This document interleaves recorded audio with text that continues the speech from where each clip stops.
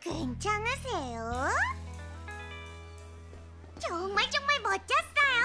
안 돼! 외치고는 오토바이를 멋지게 세워 잘 구해주셨죠. 제 생명의 은인이에요. 그런 의미로 형님이라고 불러도 될까요?